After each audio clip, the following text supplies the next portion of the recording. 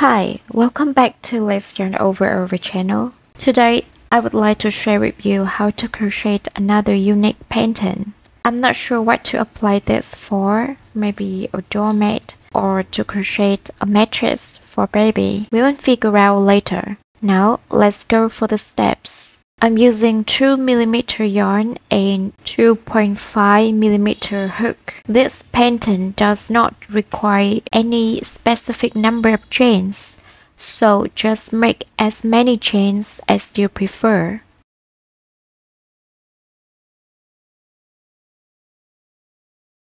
I have made 20 chains as an example.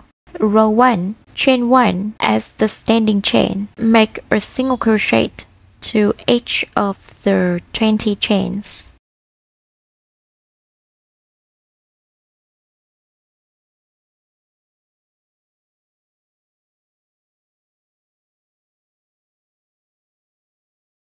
Row 2. Chain 2 and turn your work like flipping a book page. In this row, instead of inserting your hook to both front and back loops, work to the back loop only for every stitch. So you yarn over, insert hook to the first stitch, yarn over and pull through. Continue to insert hook to the next stitch, yarn over and pull through. Yarn over and pull through the first three loops on the hook. Yarn over and pull through both loops on the hook. That's the first stitch. You're gonna repeat that to all the next stitches of the row.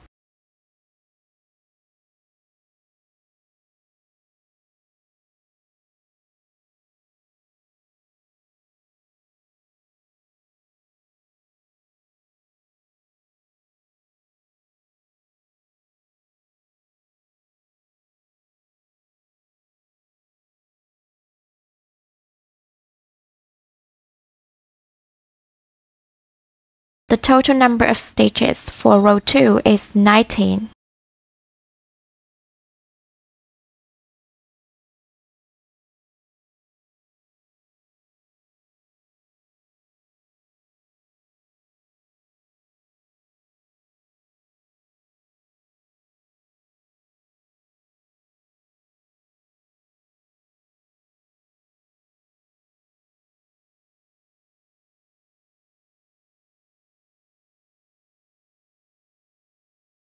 Chain 1 and turn.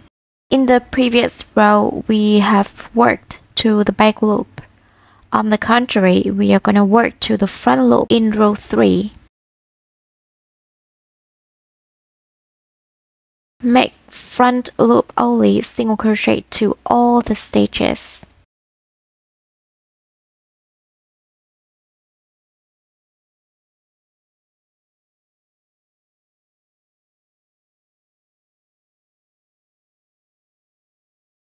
As we work to the front loop, you can see the back loop being pushed to the other side. At the end of the row, make one more single crochet to the standing chain of the previous row, so we have 20 front loop only single crochet.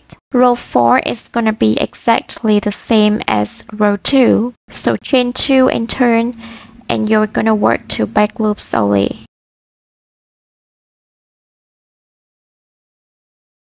So from now on, repeat row 2 and 3 as many as you want.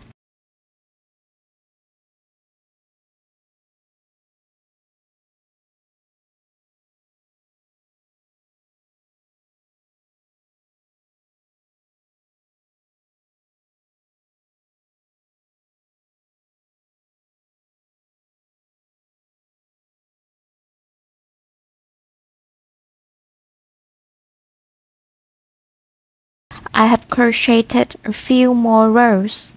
Here we have one flat side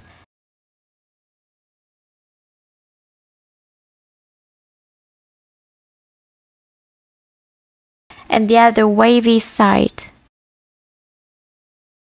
These 3D waves create a quite strong and firm structure, you know, like how they made the metal roof.